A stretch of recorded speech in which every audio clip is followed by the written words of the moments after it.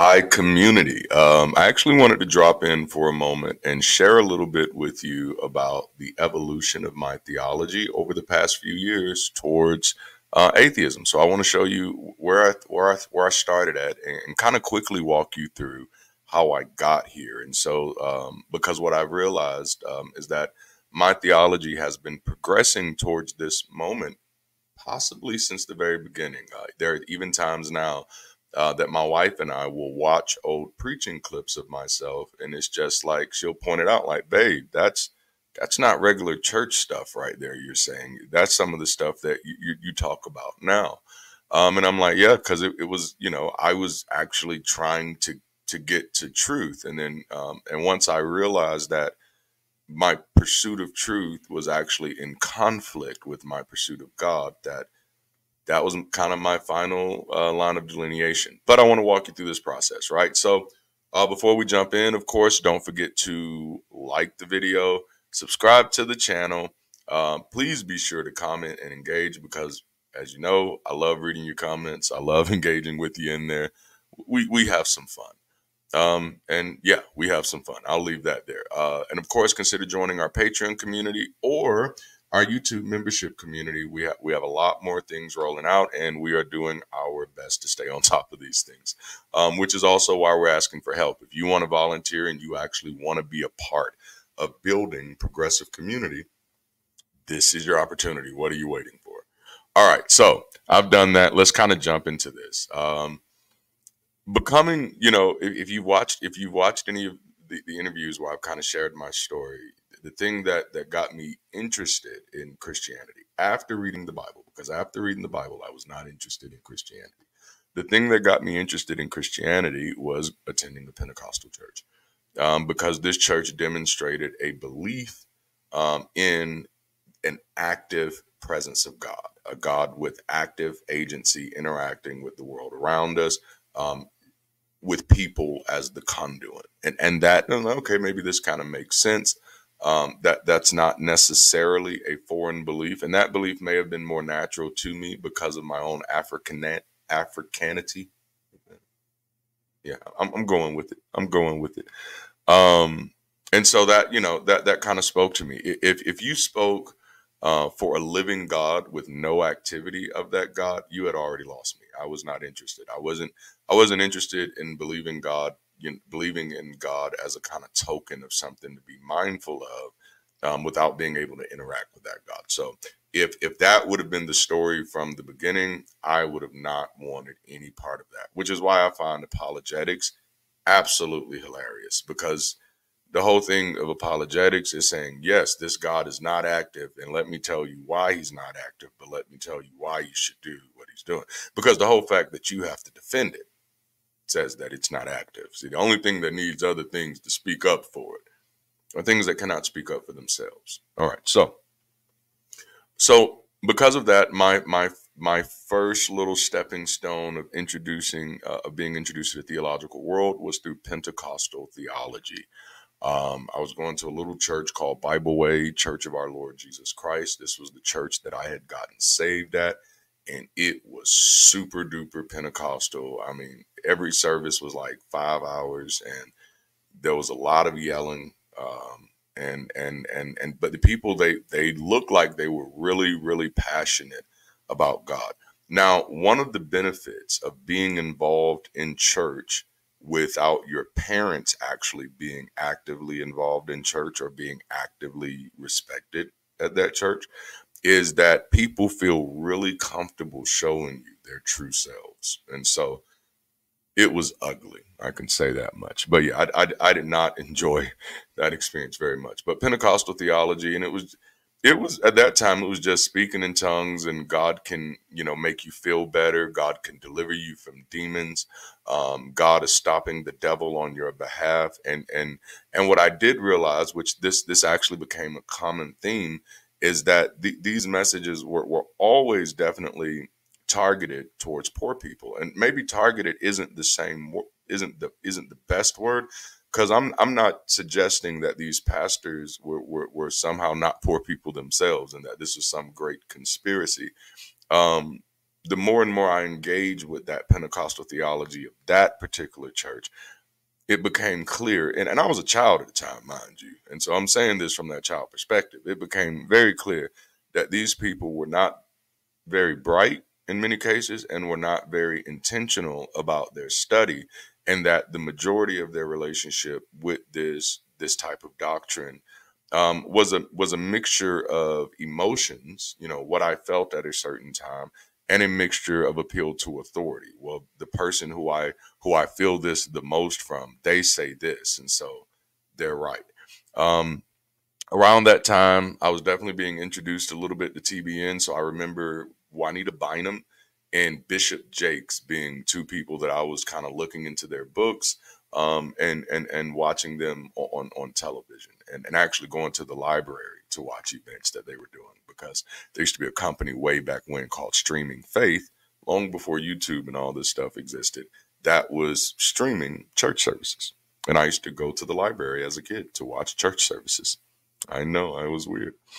All right, so then I moved on from Pentecostal theology because it was just it, it felt too limited, and um, and I decided I didn't want to deal with um, denominations, for lack of a better word, anymore because the fact that the fact in my mind back then, um, the fact that you were actively a part of a denomination, you know, means that you had kind of divided yourself against the rest of the body, and so non-denominationalism appealed to me uh, a lot more, even though they behaved and, and, created the same type of faction. So, in non denominationalism, you do have word of faith, you do have word of truth, you do have um, New Apostolic Reformation. there's so many branches. It's a branch that just keeps dividing and dividing and dividing. I mean, but even if you look at the Bible, that's that's the story of the Bible is that is that people just keep dividing against each other and just keep dividing. And so that's because that's the story of your book. That's what you keep living out. You just divide against yourselves over and over and over again. Um, but so I was a part of, uh, switched over to a more charismatic theology, which basically just meant open theology. God can do anything, you know. Um, and it's, you know, they wouldn't say it this way, but I would. It's less reliance on scripture itself and more reliance on your revelation of scripture. That's really what the whole charismatic movement movement is about. If you can demonstrate that God showed you something about a scripture that no one else saw, you know, in all these, you know, 1500 years or so, um, then then you got you got a major movement, you know. And so that was I was attending a church called Victory Christian Ministries International. Um, at that time, that was when I was living in Maryland and when I uh, came back to Alabama, and, and still, mind you, around this time, maybe I'm 15, 14, 15, um, joined a church called Acts Church Christian uh, Church, which uh, Victory was connected. Uh, they, they, and that church is still still there. They're they're under Creflo Dollar. Uh, he wasn't the pastor; he's the the pastor's pastor type of thing. Um, um, and then Axe Church was a, a church in Dothan, and they're, they're still around barely.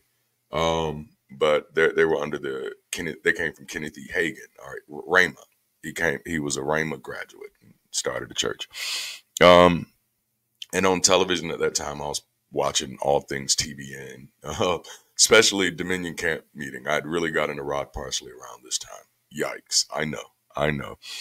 But um, but yeah, my my theology at this time was definitely more charismatic and and was more into the, this God of the gifts um, and and that kind of matched with with a, a worldview that I could accept at that time was again that that God is is active through people that we are the body.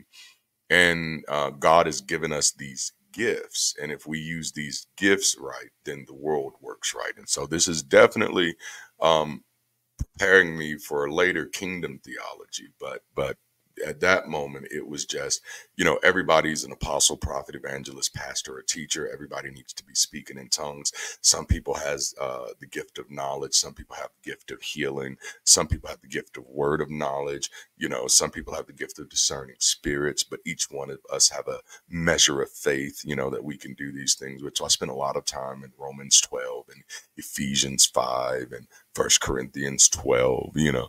Um, that, that, that's that's where the that's where the early part of that charismata was at. And then of course, um, as it evolved, I kind of evolved with it. Um, I kind of I, I want to say I was ahead of my time, but it took me this long to become an atheist, so I, I don't think I can say that anymore. But um, but a word of faith theology is where where where that kind of transitioned to, which a lot of those, a lot of that charismatic movement, that's what they were being um, kind of fed by at the time was was word of faith preachers that they didn't know were word of faith preachers. Just these word of faith preachers are being included um, at some of these charismatic events um, and then all of a sudden, charisma, uh, charis, charisma and word of faith ended up merging. And, you know, the, the surprising offspring of that is evangelical. and so, um, so yeah, so I moved definitely to more word of faith. Um, and, and that, and that it's, it's still building off of that, those same building blocks of that charismata and that, um, Pentecostal theology of that God has given gifts, but by this time there there's it's more systematic. Um, and so you you have people like Kenneth Hagin, Bill Hamon. Um, I'm trying to remember Joel John Osteen, Joel's dad. You have all these people that are writing uh, that are writing books that are system uh, systematizing the, the the Christian church, particularly the Protestant church, which which didn't have a strong system um, at that time, at least any that kept it relevant to the communities around it. Um, and somehow that word of faith movement did that because a lot of the urban churches that we later got, they come off of the offspring of what the work that those word of faith churches did to almost change the imagery of church. So yes, while there were a lot of people who hated word of faith churches because yeah, the prosperity movement comes out of that Word of Faith churches grew like no other churches. So the majority of those churches, when I shared with you earlier that only 2% of churches in the US are mega churches, the majority of those churches are churches that are more associated with that um, Word of Faith type of theology. Um, and so at the time, I was going to a, fairly large church in, in, Ozark, Alabama, out of all places, called Glory to Him. Um, I think I've shared stories about that church. Um, and by this time, as far as my my uh, outside influence, I'm anything anything dealing with faith and anything dealing with supernatural. I remember this time I'm reading heavily um, about the apostles of faith or the apostles of, of, miracles at the time. People like John G. Lake, Smith Wigglesworth, Lester Sumrall. Um, oh goodness, uh, Aimee Semple McPherson, A. A. Allen, Jack Coe um, really getting into learning about those people and trying to mimic their their their spiritual lives so that I could be such a vessel and be able to lay hands on dead people or throw dead people against the body uh, against the wall and, and they start dancing that that that was one of smith's or it could have been john g lakes but anyway so yeah so word of faith theology and by this time i'm i'm graduate around this time i'm graduating high school i end up going to a church called Destiny Church, which was ooh one of the worst periods of, of my life. And uh, but I'm grateful for it because I think that that definitely helped a lot of the theology not to take. Um, just seeing how criminally uh, negligent and deviant uh, some people could be, while other people around just watched and and could not figure out if this was right or wrong. Which I'll be doing a video about some stuff on that later. Um, after that, I shifted to kingdom theology, which and, and it's, it's more it's, probably easier better to say transition because this was this was a the evolution makes sense when I look back on it. Moving from word of faith um, theology to more kingdom, the, the, idea of the kingdom theology, and you'll see how this aligned with what I was trying to seek to understand from the very beginning. Was that again that this God is not being active in the earth on its own agency, but that God needs people to be active in the earth. And this kingdom theology was ultimately this idea that it is not our goal uh, necessarily to get to heaven.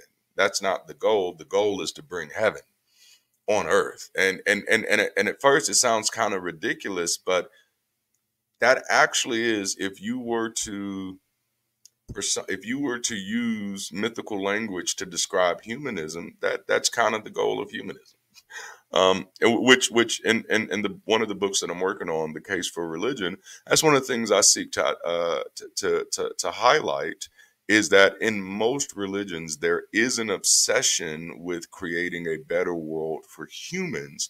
It's just that the people at the time who were doing this, you know, didn't really have a good idea what better was yet, you know, and was for a lot of reasons. But this kingdom, kingdom theology, um, by this time, you know, I'm getting into pastoring myself. I actually pastored my very first church, which was, oh my goodness, a horrible failure. And that was Greater Love Covenant Church. Uh, I don't think we ever got more than 20 members. And we stole a building. I'll tell you that story later.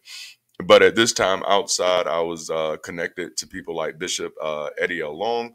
Uh, I was under his his ministry, which was I think was called the Father's House at that time. It was that father thing. Um, and then uh, um, on my later years, ended up uh, shifting to Apostle Ron Carpenter, who was in Greenville, South Carolina at the time. John Gray pastors that church now because Ron moved to um, California, which I actually will share some stories about uh, Ron and I because I have no bad memories. I've none whatsoever. I mean, uh, Ron seemed to be a true believer, one of the few. And and my, my, if my wife was sitting here with with with me, she'd be shaking her head because she knows um, how highly I talked about him, even while um, deconverting. You know, so so yeah, very very interesting thing. And I, you know, other people may have other stories, but that's my story, and I'm sticking to it. Um, and so, but I, I, did shift from that kingdom theology, apostolic theology, to still holding on to some of those ideas, but just realizing there's there's something a little more important. So then, I got into what I called urban theology, uh, which which some of you would just recognize as seeker friendly. Um, and this by this time, um, I'm uh, pastoring my second church, which I was pastoring my second church under Bishop Long, Apostle Ron as well. Um, except for then it was Kingdom International Worship Center uh, by this time, I had changed it to Kingdom Central. And, and for the first time as a black man, and this was very interesting, for the first time as a black man, I started engaging my theology um, as a black man, which I had not done before. Um, using my own Africanness and my Afrocentric lens on the text and exploring it from an Afrocentric or Pan African worldview um, which oh my goodness, that accelerated some things for me. Getting getting getting in touch with Black liberation theology was major for me. And so during this time uh, period, I had two mentors, uh, Pastor Mike McClure, often known as PMJ, and Dr. R.A. Vernon uh, out of Ohio. Um, and the urban theology to me was all about church growth and excellence, you know, and excellence was ultimately defined as customer service. Do the members love coming here? You know what I'm saying? Um, but again, kind of, uh, I do another video about inattention to results. Sometimes we measure that in really, really shallow ways. Uh, but that was definitely my focus at that moment. Is to um, is at this moment is to just be more relevant. I think that was the big word at the time. To be more relevant, be what people need. Uh, um, get more uh, during this during, during this phase. My church did more community outreach than we ever did before. Um, I, I became uh, highly involved in, in community affairs, not from a political level, but actually from a community level. When um, when someone got shot in the head, was not a member of my church. I was there at the hospital. I was there at all the family meetings um, because that's kind of what this urban theology was. And for the first time, I was a black pastor prior to that, I was just a pastor. I was just an apostle. I was just a prophet. But at this moment in my life, I became a black pastor, pastor very much attached to my community, uh, very much attached to what was going on there. And and for the first time, I had to familiarize myself with the art form of preaching, which, you know, coming through the lens that I came through, through Word of Faith, I never had to focus on the art form as much. I could just walk and talk, walk and talk. But um, when, when, when you do pastor some of my people, uh, sometimes they do want want a little bit of that art, um, which is all art at the end of the day. But they they they want something that's a little more culturally attainable, which is another thing that led to my deconstructing is realizing that that's absolutely fine and it's absolutely fascinating. Um, an earlier part of my ministry, I wouldn't have been willing to do that. I would have kept, I would have felt like that was playing for God. But by this point, by playing with God, but by this point in my ministry, I, I realized that no, this is, you know, my my job as a minister is actually to the people, you know, um, and and and if this is an art form that they love and, and what i'm looking at is that this is this is historically relevant culturally culturally relevant so i'm thinking about it in those ways and that helped me evolve to finally uh, but getting into more people-centric theology which is really where I, where I, where I, where I, where I, where I exist now. This that's how i became an atheist is i decided to just be people-centric. That's how i became a humanist. And so my ideas are a lot more progressive. Um, I'm, you know, I don't, I don't believe in God. so even when I use the term God, a lot of times I'm, I'm, talking about social constructs that that people created. And so, um, so now that's where I'm people centric theology. I'm all about the people, man. That that's that's pretty much it. Even when I look at the Bible and look as we're going through Bible study with the ex pastor, those are some of the things that I'm hitting. Um, we'll get into some of those things about showing you how this is incredibly obsessed with, with people. Um, and so now uh, my wife and I do have uh, two organizations that we that we are working on. One called the Bridge and another called Bridge City. Um, and the whole idea of that organization is creating community uh, of, of non-belief, creating communities uh, for people to deconvert, deconstruct, for people to explore, for people to grow, and also as a way um, not to just create community among the people who are participating with the bridge, but you know, my idea with the bridge is to actually create a place that bring brings everything together. Hence, the bridge, um, an idea where all the non-believing groups can be promoted, all the non-believing groups can be resourced, um, so that way people can actually find out about each other. You know, I don't I don't want to create something else that's just going to be another option. I want to create something else that is actually going to be plugged into everything else um, in an unbiased way because we have a lot of great organizations out here that need our support. And so that's kind of my idea there. I want to create an organization that that helps in supporting those other organizations and while experimenting with some things, and that's what Bridge City is for of experimenting with what actually creating community looks like uh, online and, and, uh, and offline. Um, but yeah, so so th- that that's my journey. Um, I'm trying to get y'all some more shorter videos, I promise. But I just talk a lot. Um, I do want to say uh, I do have a, a, a, new segment that I'm thinking about playing with, and I want to see what y'all think about it. Right? Um, I'm thinking about doing a sermon review segment where I take perhaps some sermon snippets from TikTok or Instagram that are really popular right now and just do an honest review of them in the same way I'm doing with Bible study with an ex pastor. You know, I won't be overly critical, but I'll share some things and not just to be roasting pastors. So, you know, I'm not going to do the Bishop Jake swallowed up. I'm, I'm not, not necessarily going to do that. Uh, I'll be more so focused on what they're saying it and how it impacts what people think and how they make decisions in life and whether or not this is a healthy, uh, mm, whether or not this is healthy or not. That's what we might call that. All right, but let me know in the comments how you feel about that. Also, let me know in the comments how you thought about what you thought about this video and my journey. Don't forget to like, subscribe, share, comment, engage, and consider joining our Patreon, YouTube membership community. We need help, so we're calling all volunteers. If that's something you have the bandwidth for, holla at your boy. And we do have merchandise if you have a budget for it. I love you all. Thank you so much for spending some time with me. Keep rising, stay progressive, stay beautiful.